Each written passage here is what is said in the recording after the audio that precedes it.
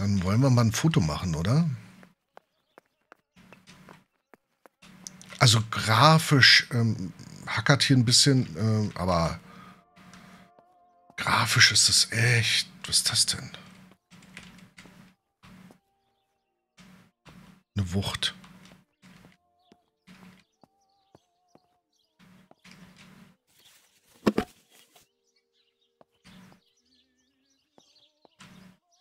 Oh, das sind Piepmetze.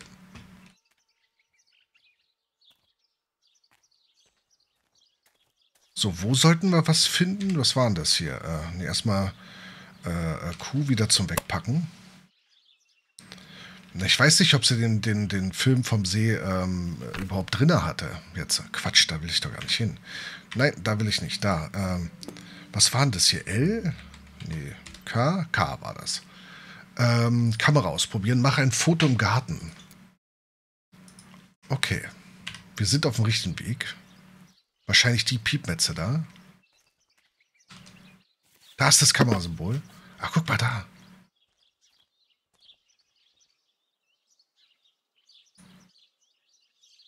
Du bist dabei, dein erstes Bild aufzunehmen. Um die Simulation zu vereinfachen, zeigt die Bildvorschau die Einstellung an, während du dies an der Kamera änderst. In der Realität wird das Bild des Suchers durch das Sekundärobjektiv gesteuert und reagiert nur auf den Fokus. Das ist ja schön. Was ist hier mit R und E? Ach du Gott. Ähm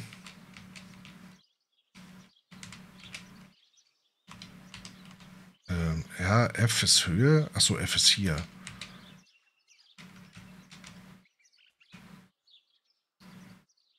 Achso, bereite dich auf dein erstes Bild vor. Wenn du stillstehst, kannst du die Feineinstellung der Kameradrehung, Neigung und Höhe vornehmen. Ja, das will ich ja jetzt nicht machen. Äh, fortfahren. Äh, Einstellungsfeldanzeige. Öffne das erweiterte Einstellungsfeld, um das Foto einzigartig zu machen. Ach du Gott. Verwende die Bedienelemente des Panels, um Fokus, Belichtung und Blende einzustellen. Drücke Dings, äh, um Registerkarte Extras zu wechseln. Ja.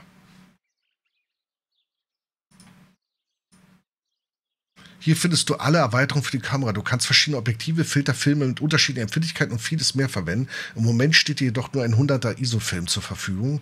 Drücke, um das Panel zu schließen. Nach dem Schließen des Fensters äh, stellst du die Kamera ein und drückst dann Space, um den Aufnahmemodus zu wechseln. Kann ich? Ohne dass er abholt? Uh, Du bist dabei, ein Foto zu machen, bei dem ein wichtiges Merkmal der Geschichte nicht richtig erfasst wurde. Du kannst fortfahren, aber die Geschichte wird möglicherweise nicht fortgesetzt. Vorfahren? Nein. Woran sehe ich denn das?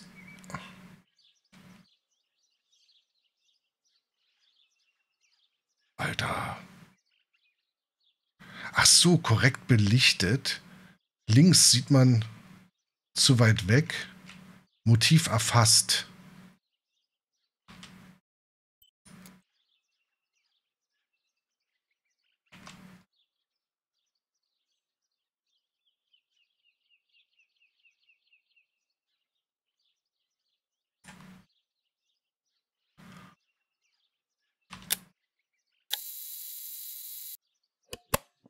Glückwunsch, du hast dein erstes Foto geschossen. Du kannst im Laufe des Spiels so viele Fotos machen, wie du willst, aber denke daran, dass nur einige wenige für den Fortgang der Geschichte entscheidend sein werden. Später wirst du erfahren, wie du die aufgenommenen Fotos entwickeln kannst.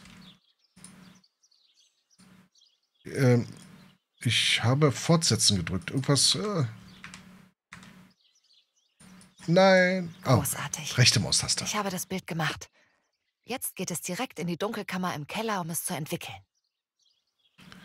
Es sieht schon sehr nice aus. Papa ist seit kurzem General in der deutschen Armee.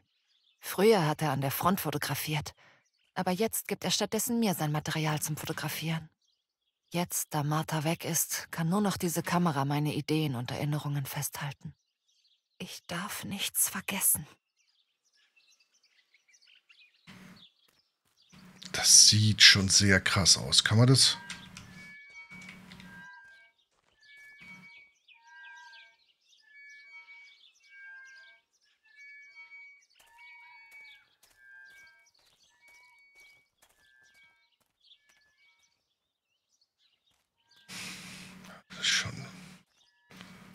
Und Zitronen.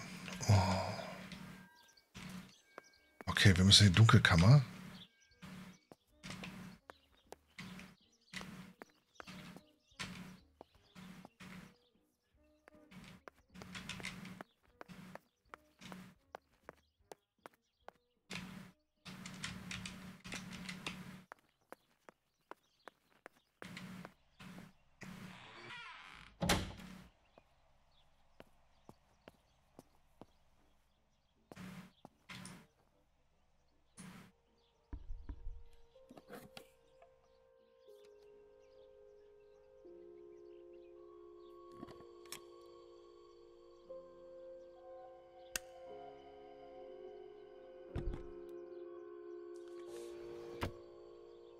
Fotopapier.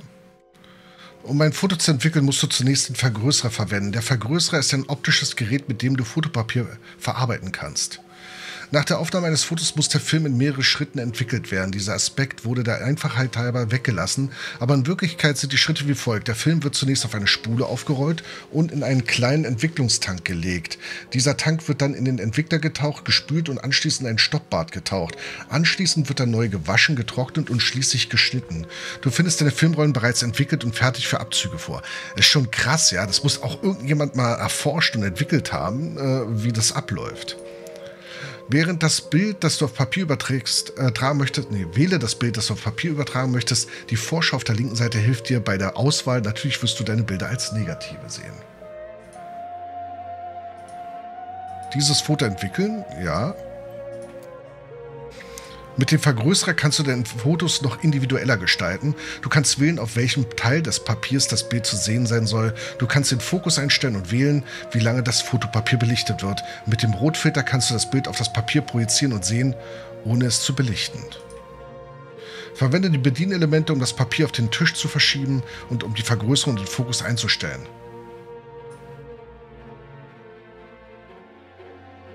Wenn die drei Kreise ausgerichtet sind, ist das Bild fokussiert. Wenn du das Bild nach der Ausrichtung immer noch unscharf siehst, hast du es wahrscheinlich so aufgenommen.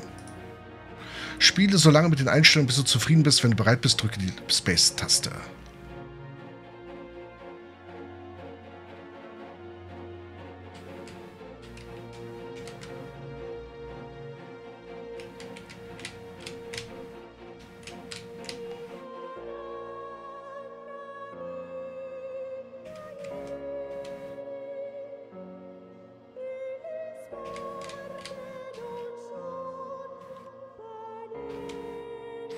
Wenn der Rotfilter entfernt wird, wird das Bild auf das Papier belichtet. Dieser Vorgang wurde automatisiert und beschleunigt im Vergleich zur Realität.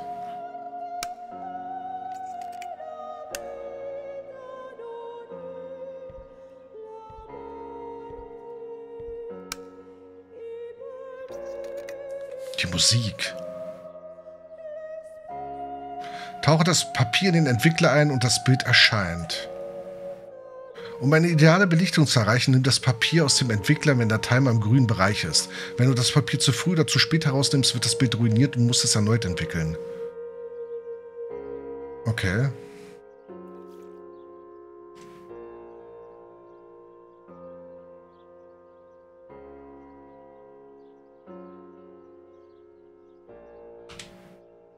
In Wirklichkeit folgt auf das Eintauchen im Entwickler ein Spülbad, ein Stoppbad und dann ein zweites Spülbad. Diese zusätzlichen Bäder wurden der Einfachheit halber übersprungen. Hier ist der Abzug des Bildes. Du kannst es in deinem Album aufbewahren. Oder es wegwerfen. Die Kamera scheint perfekt zu funktionieren. Jetzt kann ich ein Foto mit Selbstauslöser für Marthas Rahmen machen. Du kannst jede Aufnahme so oft entwickeln, wie du möchtest. Alle Aufnahmen bleiben dauerhaft für Abzüge verfügbar. Ist enorm. Vor allem die Details. Guck mal, die, die Pinzette, die ganzen Kratzer. Warum? Ja. Ähm, also, wenn die Eltern mitkriegen, was sie alles weiß über Fotografie, äh, würden sie sich nicht nur Fragen stellen. Ne? In das Album ablegen. Vor allem darfst du das nicht offen äh, äh, hinlegen, ne? Das ist cool gemacht. So, K war das, ne? Der Rahmen. Ich muss eines meiner Fotos in diesen leeren Rahmen einsetzen. Ich habe Martha Kamera, ich brauche ein Stativ. Davon kann ich ein Selbstporträt machen. Die Zeitung haben wir gelesen. Wir brauchen ein Stativ. Haben wir schon mal Stativ gefunden hier?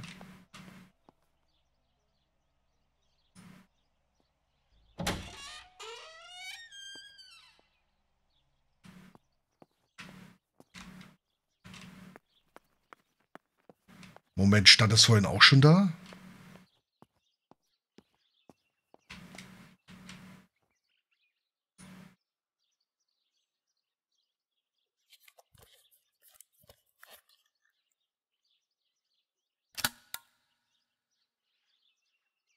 Der Selbstauslöser ist eingerichtet.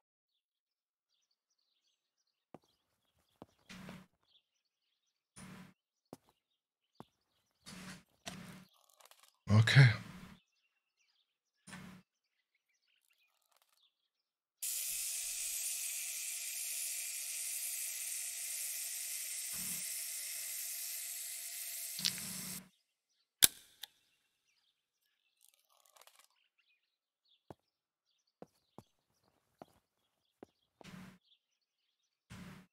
Ach, guck mal, jetzt gibt es den Zielmarker.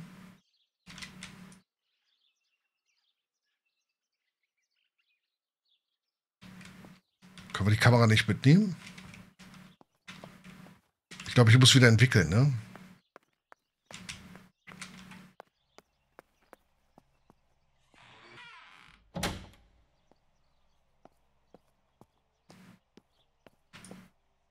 Es ist immer wieder aufregend, ein Foto zu entwickeln. Zuerst sieht man gar nichts. Und trotzdem ist etwas Unsichtbares auf dem schwarzen Film eingefangen. Eine Art Geist. Dieser unsichtbare Atem kehrt dann zurück, um die Realität zu enthüllen, aus der er gerissen wurde. Manche sagen, dass die Fotografie die Seele stiehlt oder einfängt. Das ist gruselig Deshalb gerade. hat man früher die Toten fotografiert. Aber heutzutage macht das fast niemand mehr. Auch wenn es nur ein Irrglaube ist, will ich Martha fotografieren. Ich will eine kleine Erinnerung an Martha bei mir haben. Aber ich muss es heimlich machen, sonst hält man mich für verrückt.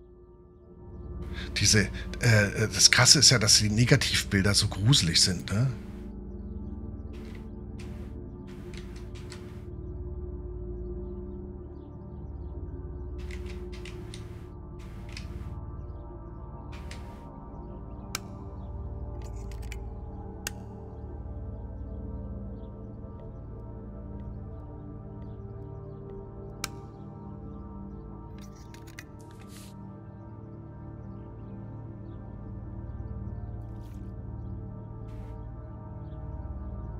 Wasser. Ich muss auf den Timer achten.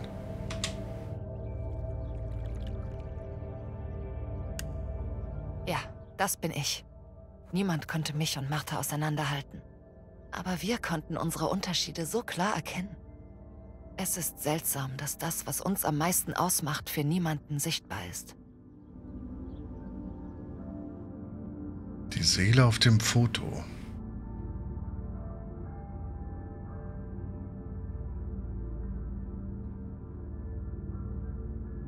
Ich dachte zwanghaft an Martha und daran, was passiert war.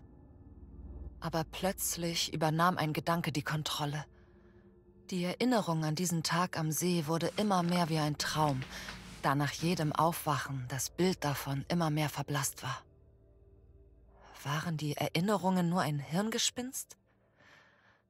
War ich es, die meine Schwester verletzt hatte? Ich habe sie immer beneidet. Und jetzt hatte ich ihre Identität übernommen.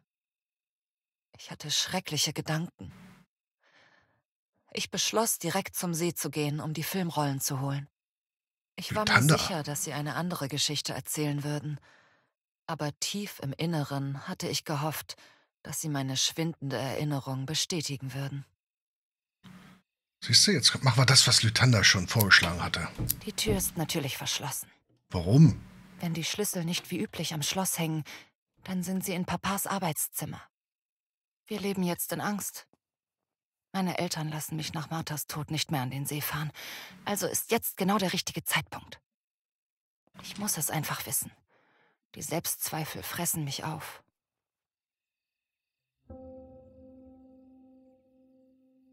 Am selben Tag 23.30 Uhr.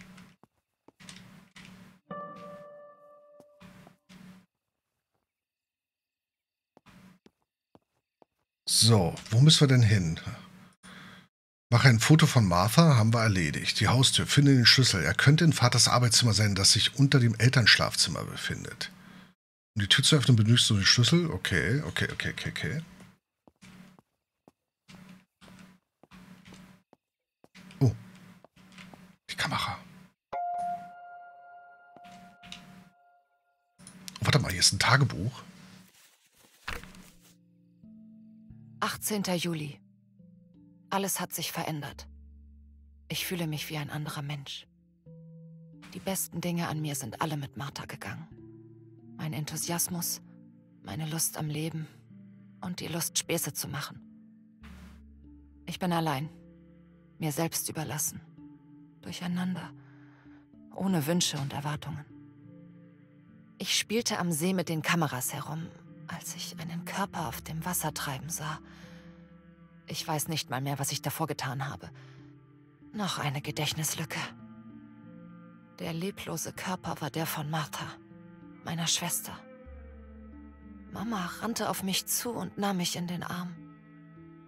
Sie hielt mich für Martha und die Tote für mich, Julia.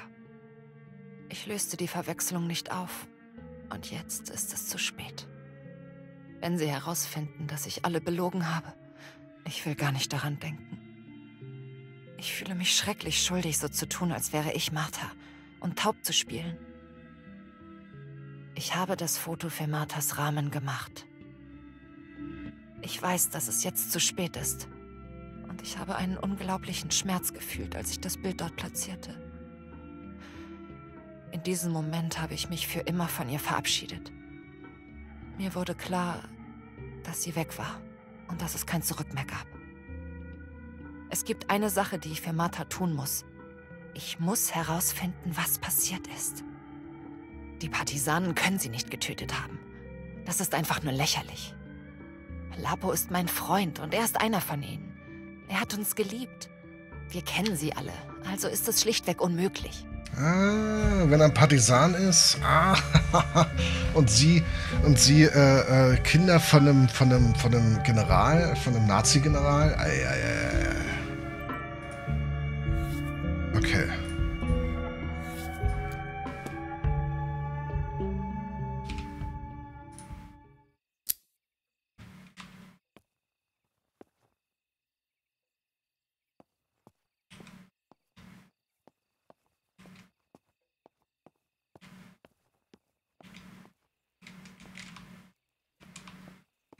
Telefon.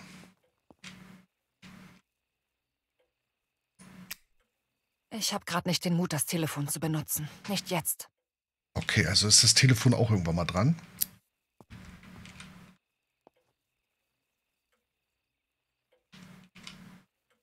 Es ist dunkel und ich kann das Licht nicht anmachen. Das ist gefährlich. Ich brauche einen Blitz für die Kamera. Den kann ich unter Papas Sachen im Zimmer unter seinem Schlafzimmer suchen.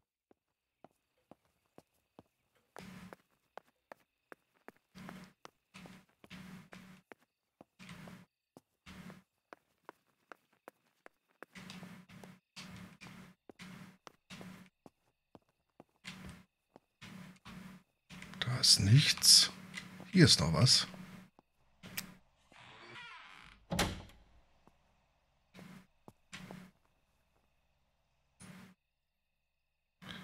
Linse. Ein Objektiv und eine Rolle Infrarotfilm. Die halten auf Film fest, was das blanke Auge nicht sehen kann.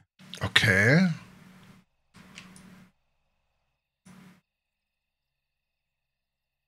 Mit diesem Objektiv kann ich sehr nah herangehen. Orangefilter.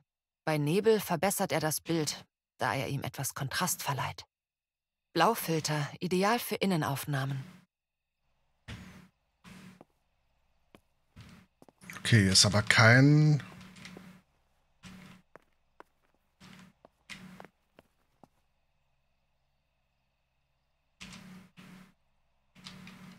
Nee, das ist für die Kamera dann, ne?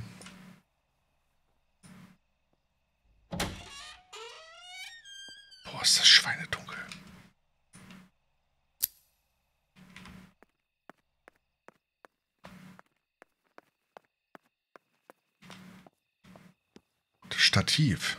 Für Fotos mit einer langen Belichtungszeit ist ein Nee. Stativ erforderlich. Doch.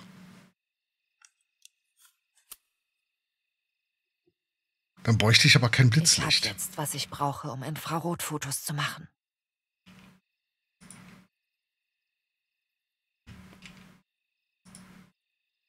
Äh. Ah, okay.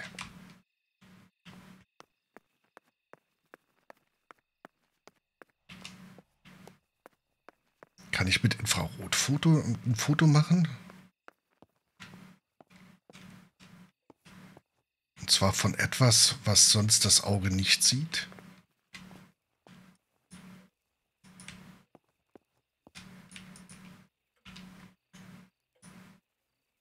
Okay, nee, noch nicht.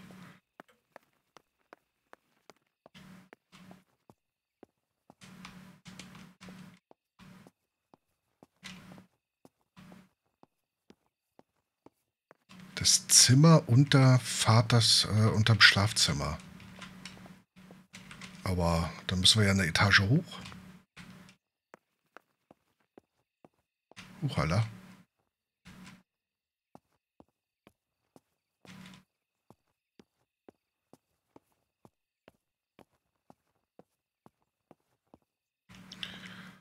Ah.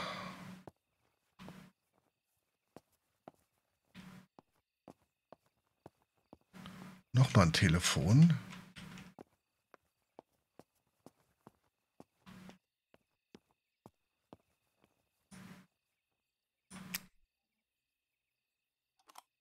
Hier ist der Kamerablitz. Jetzt kann ich Martha auch im Dunkeln fotografieren.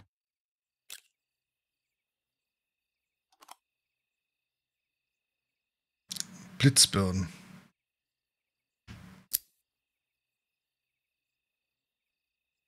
Papas Sachen. Kriegskarten.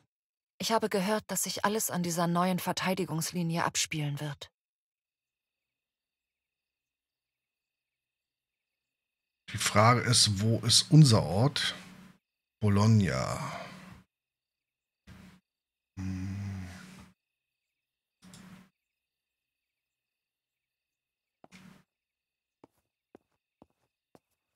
Der Schlüssel.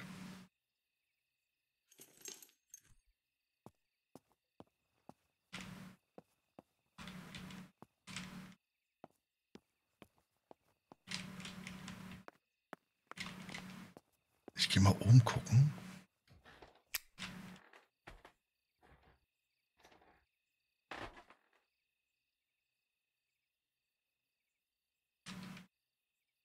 Hier ist aber nichts zum Angucken. Okay, ich gehe leise wieder runter.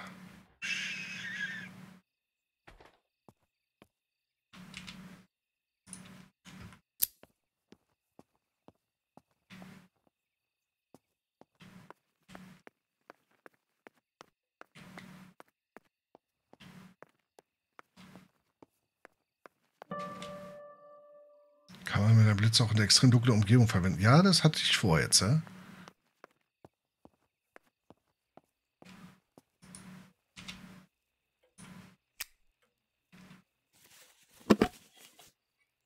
Benutze die Kamera, betrachte die äh, Kamera, okay, in die Tasche packen. Wir betrachten erstmal die Kamera. Wir packen jetzt. Äh oh.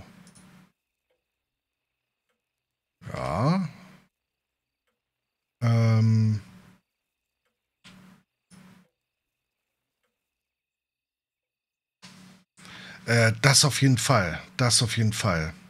So, warte mal. Wie war das hier? Control? Wir brauchen das Add-on für den Infrarotfilm, weiß ich nicht. Auf alle Fälle fürs Blitz. Was passiert denn hierfür? Komponente abwählen. Makro. Blaufilter nein. Nein. Okay, die Filter lassen wir mal. Ähm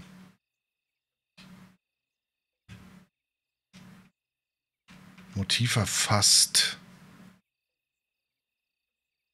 Unscharf zu dunkel. Ähm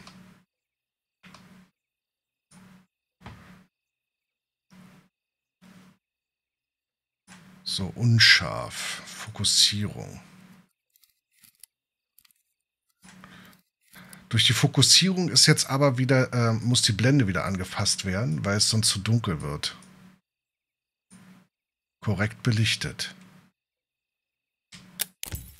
Erledigt. Es ist schön, dich immer an meiner Seite zu haben. Auch wenn es nur ein Bild ist. So, jetzt haben wir mit einem Infrarotfilm. Warte mal, kann ich noch mal?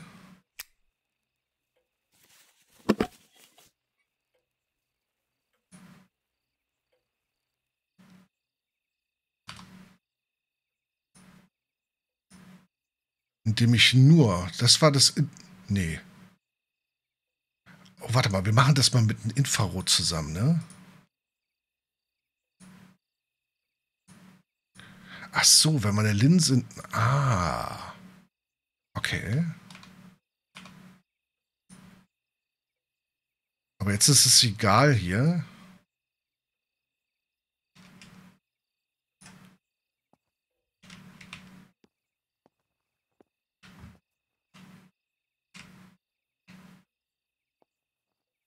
ich will es mal, ich will's mal riskieren.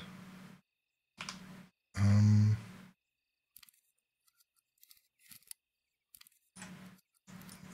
und scharf.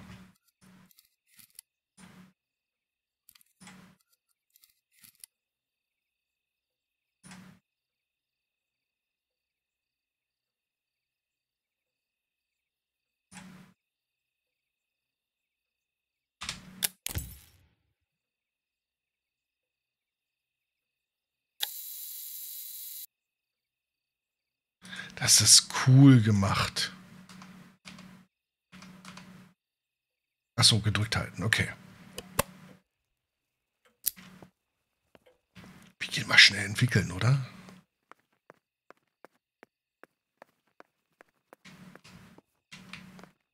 Also ich möchte unbedingt sehen, was daraus äh, kommt jetzt. Ja.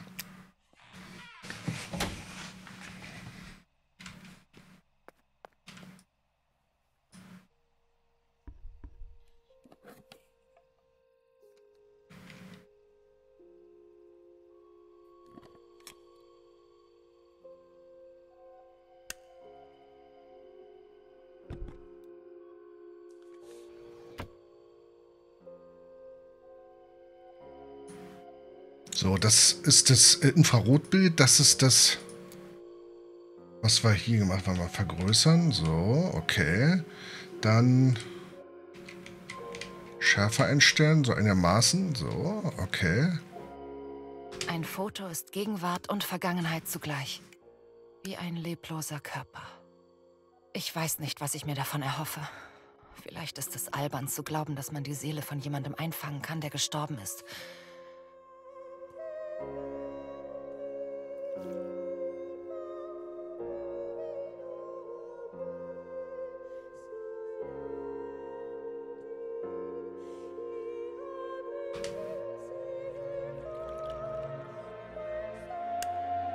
Ihr Gesicht kann mir nicht mehr verraten, ob es meine Schuld war.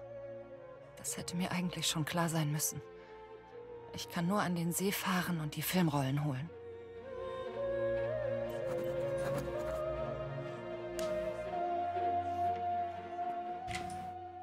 Ich entwickle aber noch das andere Bild. Warte mal, ich mache mal jetzt hier überspringen. Gut. Um die, die Sequenz ein bisschen zu überspringen und zu straffen.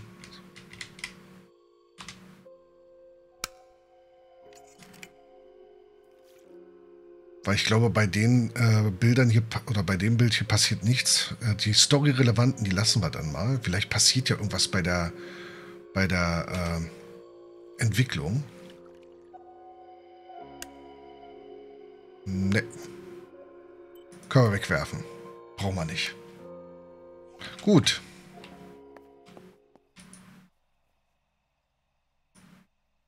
Wir gehen jetzt zum, zum See, ne?